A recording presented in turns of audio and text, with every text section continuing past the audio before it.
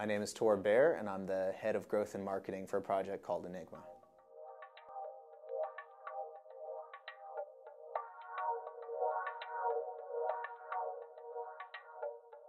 I used to be a uh, economics major. I got really interested in behavioral economics, uh, incentive system design. That always fascinated me from an early age. Uh, after school, I went into derivatives trading because I wanted to see how these concepts applied to the real world. I didn't much like what they were being applied for, though. So when I went back and I got my MBA at MIT, they had been teaching blockchain courses there for the first time at the Media Lab. I went out of my way to be able to take those because that seemed to be the first really groundbreaking implementation of incentive structures that, that I had seen, like a way to decentralize trust. That was really mind blowing for me. And since then, I've just been looking for more ways in which blockchain and other decentralized technologies can be applied and the way we can create decentralized incentive systems that can create new types of solutions. Enigma is trying to accomplish something really unique in the blockchain space because blockchain doesn't solve everything. It has a couple of specific weaknesses, one of which is privacy. And blockchains are good at a very, blockchains are good at a few things, including uh, trust and verification. But because they're designed to be auditable, because they're designed to give you a record of transactions, they're bad at privacy by design. What Enigma is trying to do is introduce privacy solutions that are decentralized, that work alongside blockchain, so that you can create decentralized applications and smart contracts that can use private and sensitive data instead of keeping all of that data on a blockchain, which means it's going to be super slow and it means all that data is going to be public. You can instead send that data encrypted to Enigma's network where we do private computations and then the results of those computations get submitted to a blockchain. And that way we're solving both privacy and scalability for blockchains. And I think that those are the two biggest challenges facing adoption of blockchain and other decentralized technologies. The way that the Enigma network works is Data is submitted to the network encrypted. And nodes in the Enigma network will perform computations on the encrypted data. We have a few different types of solutions, some hardware-based, some software-based, that allow us to do these computations while preserving the privacy of the underlying data. The reason it's more scalable than doing this on-chain is because those computations are sharded across the Enigma network. Not every node is going to have to be performing each computation. But because of the way that the network is structured and because we use blockchain as a verification layer, we're able to still know that the computation was performed correctly, even if the entire network didn't have to perform that computation. In that way, we've created a scalable solution that's also solving for privacy. A secret contract is a new kind of smart contract. The way that smart contracts currently work, uh, you're usually using on-chain data as an input to the contract. With secret contracts, you're able to create smart contracts that can use as inputs private or sensitive data because that data is off-chain and submitted to the Enigma network already encrypted. At no point during the computation process is it exposed to the nodes themselves that are performing the computations. I think of secret contracts as the next natural evolution of what smart contracts are and can be. And I believe that because of the privacy preserving nature of secret contracts, they are going to be the foundation of the decentralized web. With decentralized applications, I think that any type of truly useful scalable application is going to require some kind of personal, sensitive, private data. If you wanted to use, let's say, uh, anything about your credit history or anything about your medical data, or if you wanted to use something even as simple as your location, you know, these are all things that are very common in applications that we see today, traditional centralized applications. If we want to decentralize these applications, we're going to need solutions for being able to use those types of personal data. But if we can do that, you can imagine things like a decentralized credit network where you don't need a centralized company like Equifax to store and compute your credit history and your credit score and data. You can have uh, marketplaces for your healthcare data so that researchers have more access to more data when they're designing new treatments for diseases. This isn't just, you know, pure speculation. Like these are real problems that have faced healthcare, credit, finance industries for decades. And for the first time, I feel like we're getting closer to real solutions because of the way that decentralized technologies are developing. Being a part of a decentralized team is a huge challenge. And this isn't the first time I've had to be part of a decentralized team. But for us, it's, it's particularly interesting because not only is our core team decentralized, we're building a global community.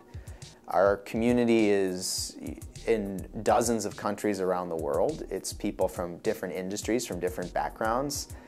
The way that we organize our own team internally is similar to how we have to organize our global community. It's, it's a lot of different interests in a lot of different places. Everybody has their own perspective on why what we're building is critical and important. And everybody brings their own skills to telling our story and building our technology and finding partners and applying what we're building to solutions around the world. I think that if we're going to be effective as a decentralized team, just the Enigma team, you know, it's going to be because we found a way to be effective as a global community as well of tens of thousands of people. And so I guess when you put it in those terms, it doesn't scare me being a couple dozen people at Enigma all around the world when I know that what we're really trying to build is hundreds of thousands of people around the globe who are aware of our solutions and implementing it themselves. I don't want to take credit for how our community formed because I think that we're just in the right place at the right time. We're solving this issue of data privacy, which is all over the news. We all feel it fundamentally, when we see how data has been misused, we're all looking for meaningful solutions. It's easy to sort of say, we recognize this problem. And it's easy to say, maybe blockchain has something to do with a solution. It's hard to build a solution that is decentralized and that is still going to be meaningfully better than the centralized solutions we currently use for protecting data. What we have is broken, but fixing it is not trivial. I think what we've attracted is a community of people who both take the problem seriously and are motivated to build solutions. And the reason they're so committed to Enigma and what we're trying to build is because they see how seriously we take it as well. And for anybody who's been waiting to find like-minded people, regardless of where they live or what they work on day to day, you know, this is, this is what they've been waiting for. And honestly, this is what I've been waiting for too. I've lived in Chicago a total of six years of my life. I grew up on the East Coast, uh, but I love Chicago. And I think that Chicago is a city that's both practical, but full of dreamers. And it's always been on the cutting edge of all kinds of innovations, whether it's technological or financial. Uh, the energy here is so good. And at the same time, it doesn't have the same sort of structure as New York or San Francisco, where it seems to be a race to the top or a race to the bottom. Like there's much more familial culture here. And I think because that mirrors our own community so well at Enigma, I'm really excited about the potential of the Chicago community. I see so many ways in which it's working together to build something bigger than itself. And I don't see any reason why Chicago couldn't become the primary hub for decentralized technology in the country or the world. All the pieces are here. This is a full stack city. Everything is here that you would need to create the culture to make this the place to go as a blockchain project, as a blockchain builder, as a blockchain investor, as a blockchain implementer. Everything is here. It's just a little cold. Right now at Enigma, we're focused on getting more partners building on our protocol. We launched our testnet at the end of June. We're going to be releasing a bunch more iterations and we plan to get our mainnet out before the end of this year. And in the meantime, we're working with a lot of different projects around the world.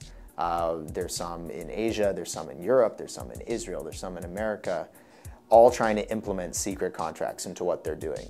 And they all are targeting different building blocks within the decentralized ecosystem. Some are looking at voting solutions, some are looking at auctions, some are looking at credit, some are looking at uh, Sybil attack prevention. There are so many different applications of our technology, and it's been inspiring to see how all these different projects all see applications of what we're building to the very real solutions that they're trying to implement for very real specific problems within their fields.